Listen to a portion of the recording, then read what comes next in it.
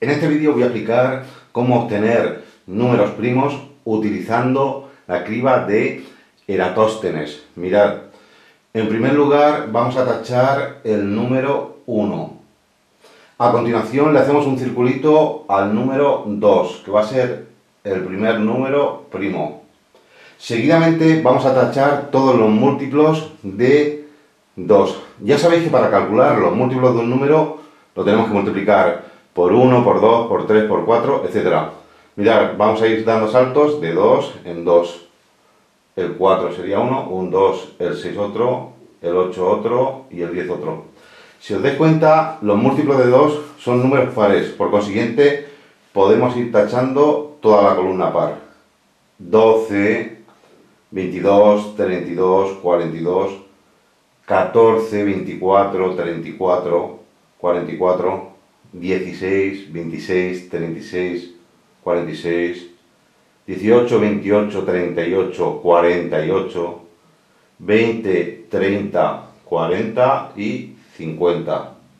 Seguidamente vamos a hacer un circulito al número 3, que sería el segundo número primo. Y a continuación vamos a ir tachando todos los múltiplos de 3. Serían el 6, ya está tachado, no lo volvemos a tachar.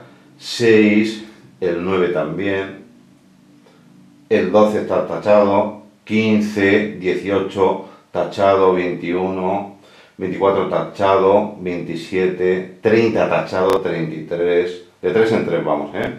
36 tachado, 39, 42 tachado, 45, 48 tachado y ya, no hay ninguno más.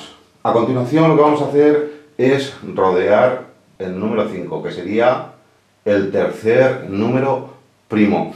Y ahora vamos a tachar todos los números terminados en 0 o en 5, o sea, los múltiplos de 5. Los que terminan en 0 ya están tachados. Y si os dais cuenta, los que terminan en 5 están justo debajo del 5, que serían el 15 que está tachado, 25, 35 y 45 que está tachado.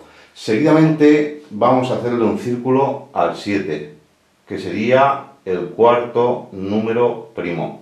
Y ahora vamos a ir tachando los múltiplos de 7. 7 por 2, 14, tachado 7 por 3, 21, tachado 7 por 4, 28, tachado 7 por 5, 35, tachado 7 por 6, 42, tachado 7 por 7, 49, que no está tachado, lo tachamos. Ahora vamos a hacer un circulito al 11.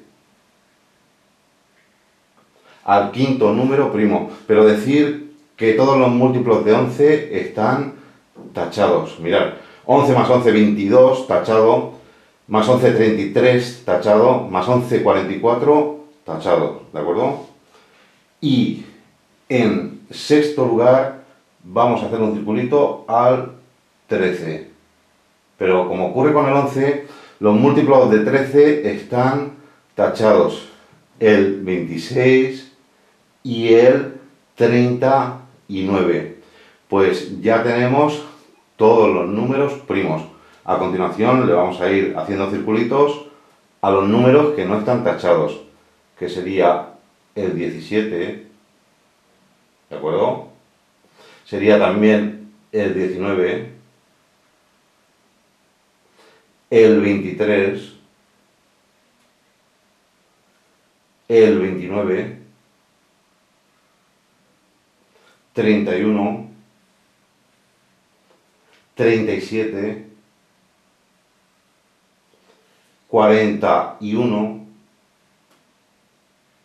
43 y 47. Ya tenemos seleccionados u obtenidos los números primos del 1 al 50. Decir que el número 2 es el único número primo par y que los dos únicos números primos consecutivos, o sea que van uno detrás de otro, son el 2 y el 3.